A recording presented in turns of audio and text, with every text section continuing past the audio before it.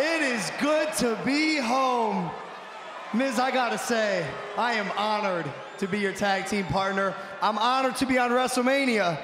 And I am honored to be back home in Cleveland! Let's go! Let's go! As it sounds like you know, I grew up in Cleveland, Ohio. I went to Westlake High School. My boys from Westlake High School are all here. Over there, they showed up tonight, Monday Night Raw. Shout out Demons! I was a wrestler myself. I placed fifth in the state of Ohio. And I gotta say, I got nothing but respect for my city because Cleveland made me into the man I am today. Now, don't be modest, don't be modest. You made it on your own.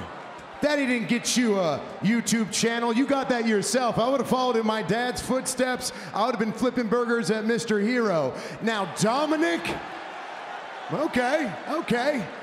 But Dominic's dad, Rey, got him a WWE contract before he was ready. Now, don't get me wrong, Rey Mysterio is an absolute legend in this ring.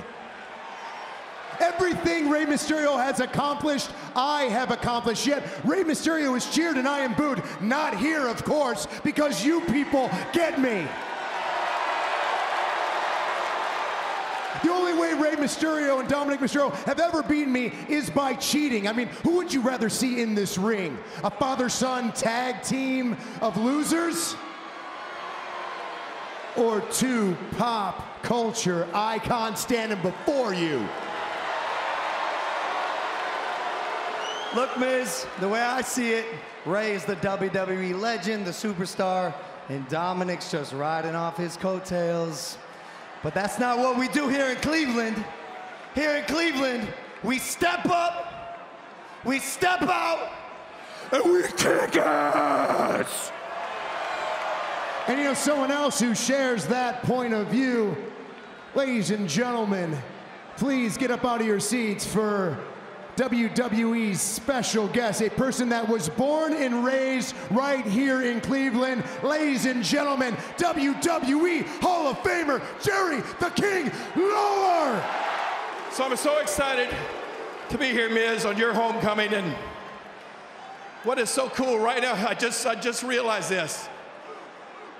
I'm looking at you, Miz, standing beneath that WrestleMania sign, and I'm just thinking, how would it be? What do you think, Miz, about having WrestleMania right here in Cleveland, Ohio?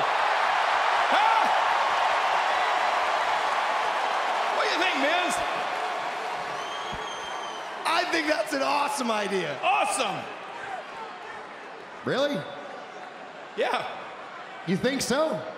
Yes. I don't know, man. Miz, you were just out here singing the praises of Cleveland. I think it's a great idea. Look, look, look, look. I love the city of Cleveland, but Cleveland isn't exactly a WrestleMania city. Oh, wait, wait, wait, wait. You were just cheering me and now you're booing me? I mean, come on. Let's be real. The pyrotechnics alone WrestleMania this city can handle. The only real pyro this city can handle is when the lake catches on fire. And to be completely honest with you, I don't even live here anymore. I haven't lived here for a long time. Nobody lives here anymore. Whenever you get an ounce of success, you leave. Kind of like the Browns went to the Baltimore, and then what happened there? They won a Super Bowl. But not only that, they aren't the only ones that left and won a Super Bowl. How about Odell Beckham Jr.?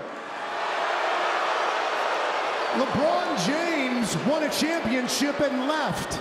The same reason that Cleveland will never host a Super Bowl is the same reason that they will never host a WrestleMania. And honestly, I think it's time that Logan and I get out of here and go and take our talents to WrestleMania, defeating the Mysterios because winners leave Cleveland.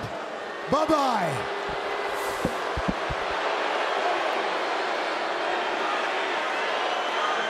That's not a great send off. We hope it.